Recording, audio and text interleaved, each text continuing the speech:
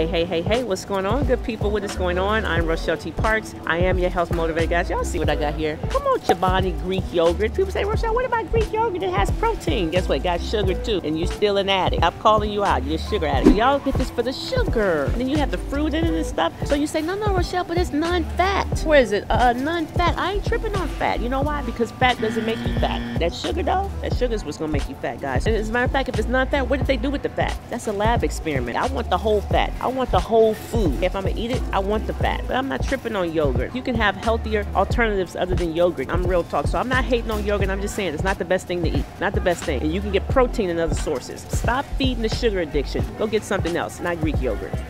Hey, what's going on, family? If you like the information you just received, but you like to learn more, like really learn what exactly you need to eat to help your body to thrive, then I tell you what, just type hope in the comments, okay? I'll send you a link to your DM so you can register for my free masterclass where we can go deeper, okay? Listen, type hope in the comments right now and go ahead and register, and I'll see you in class.